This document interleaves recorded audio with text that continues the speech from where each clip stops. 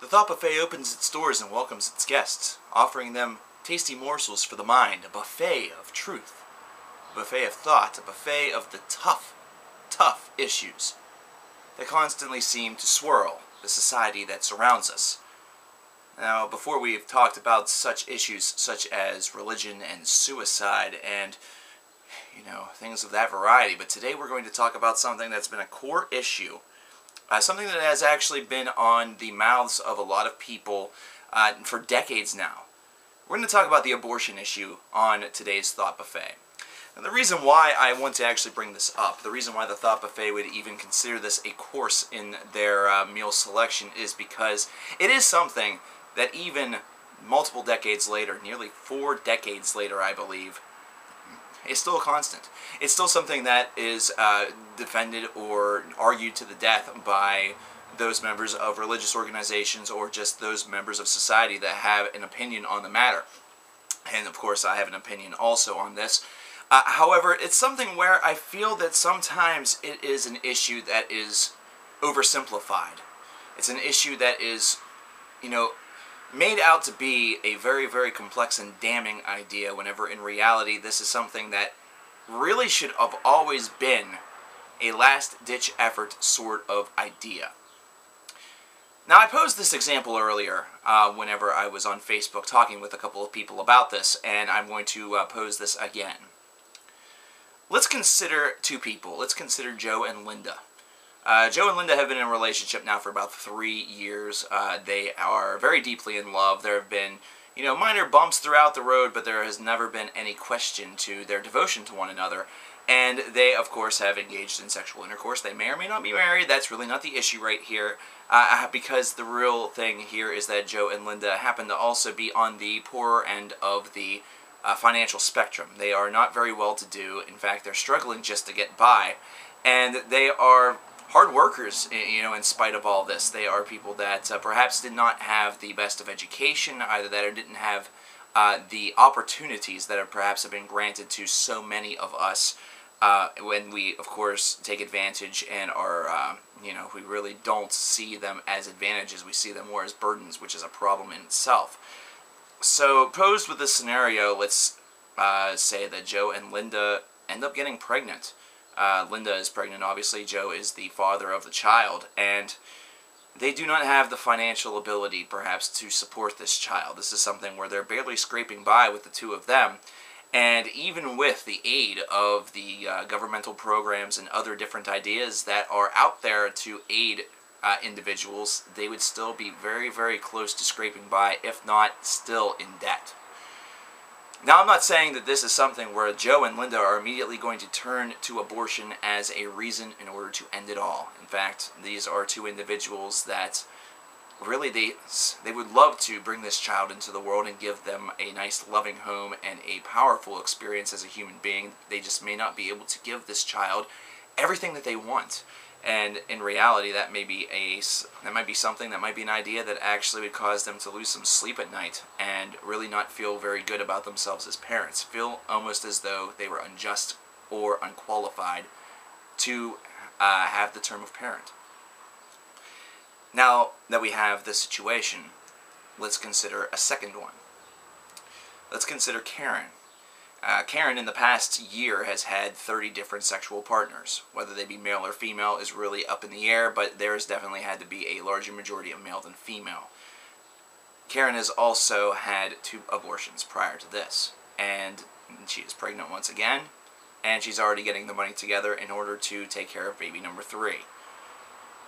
Now, in these two situations, we see two people that are faced with the abortion issue with two very, very different philosophies, and there's a thousand and one other different philosophies and different situations that can occur, some of which may involve uh, a rape, some may involve a, an accidental, you know, idea, some may involve, you know, a very, very rough Jerry Springer-like scenario where maybe cheating occurred or something like that, and there wants to be prevention of them even knowing that it happened, whatever it may be. Whatever the situations are, these two are just two in uh, a number of different situations that are each individual for the couples of which they are taking part uh, in the activity.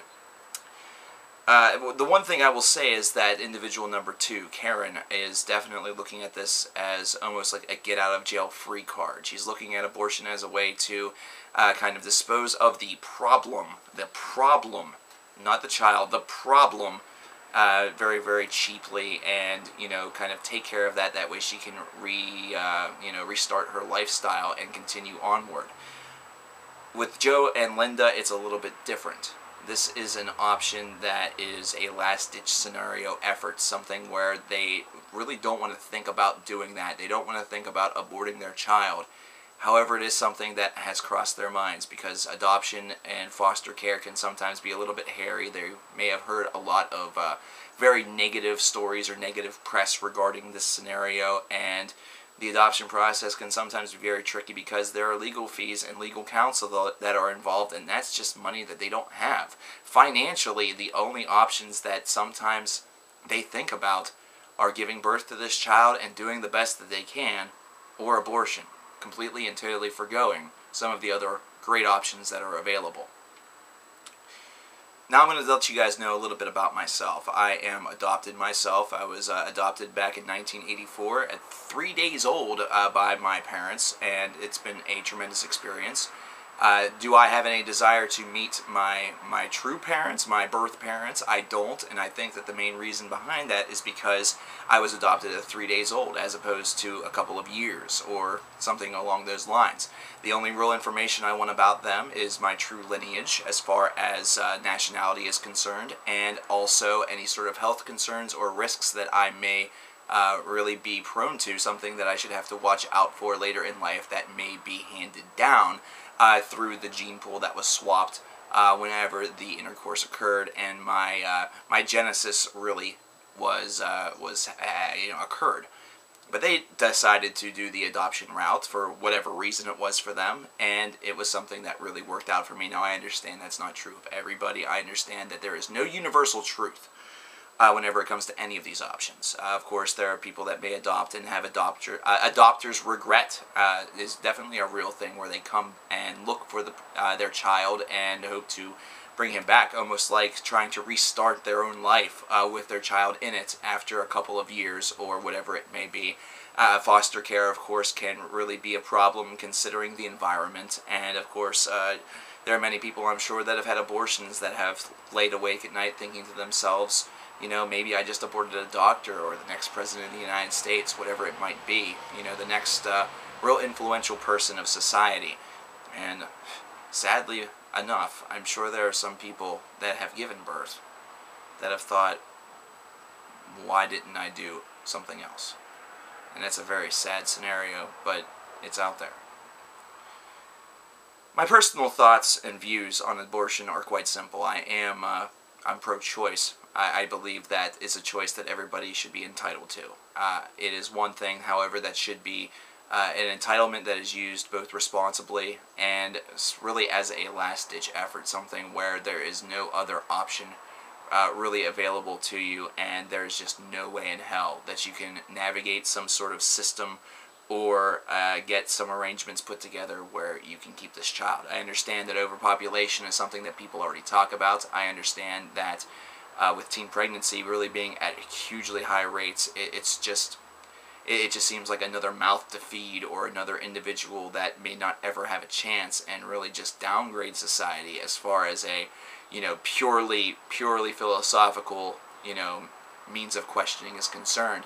But you never know that you know, if you are in this situation and you do not want to, you know, give birth and keep the baby, of course, I believe that the best option for you is to consider the adoption system.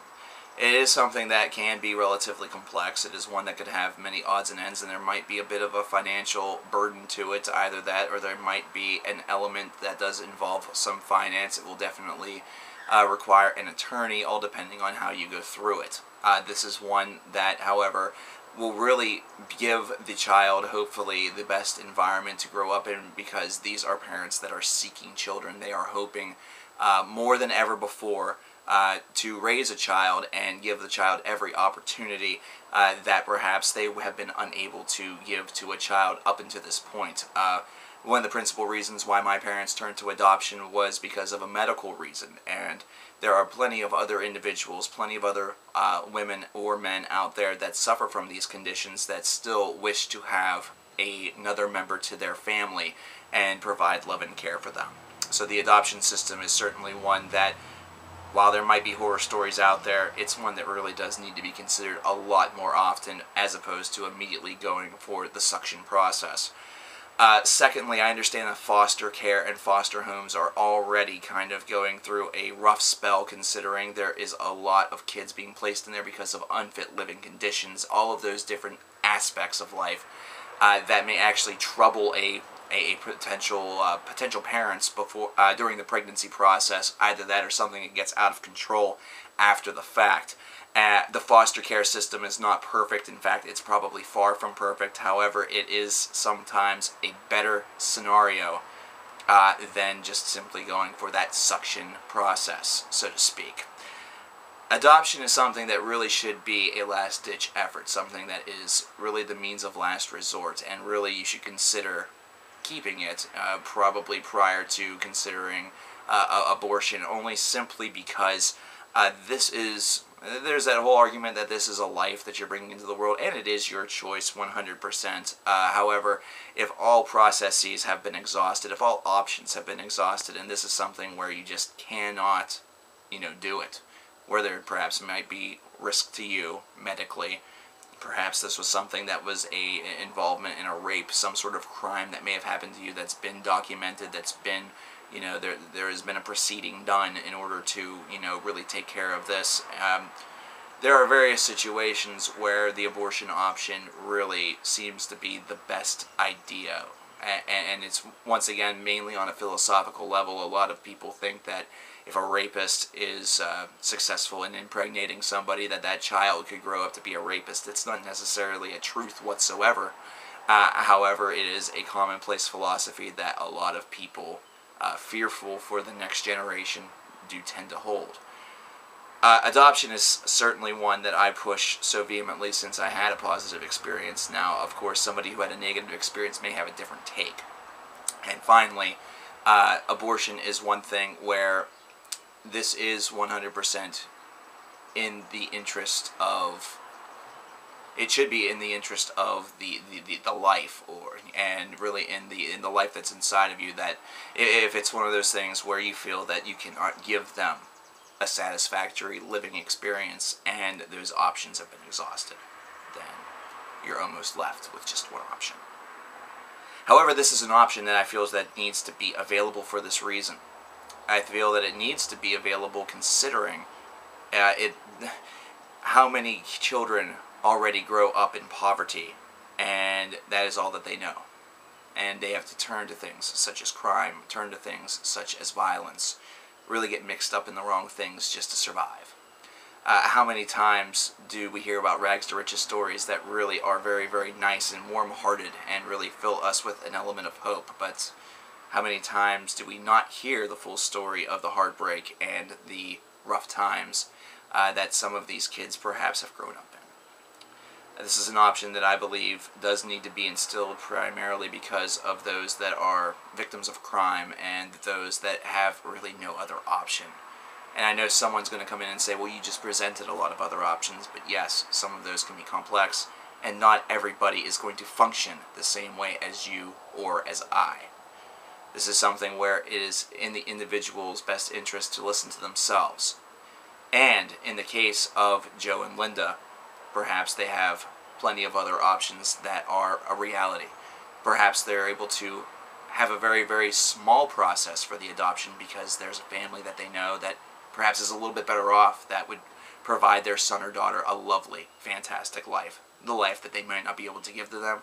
And they would also have the realistic ability to be a part of it. The case of Karen, though, she's operating primarily on selfishness. And this is something that also needs to be taken into consideration and something that should attempt to be avoided. This is not all about your life now and how this fetus that you have conceived with somebody else while being either a party girl or if you're a guy while being a obnoxious dick with some girl. This is not something that has just come along in order to stymie your process of becoming the biggest douche in the universe, or the biggest party girl in the universe, or whatever. This is an opportunity. This is an opportunity that should be harder to throw away than what it seemed in the example of Karen that it was. Because it was something that she had thrown away multiple times, almost without thought. The Thought Buffet closes its doors, offering up a hearty course of thought, truth, human expression, a lot of different things today. Talking about an old topic, however, a topic that, when tasted, when sampled by the mind, it does soothe more. It is a soothing morsel, one that, while it is very complex and causes much struggle, is one that certainly makes us all think. Thank you.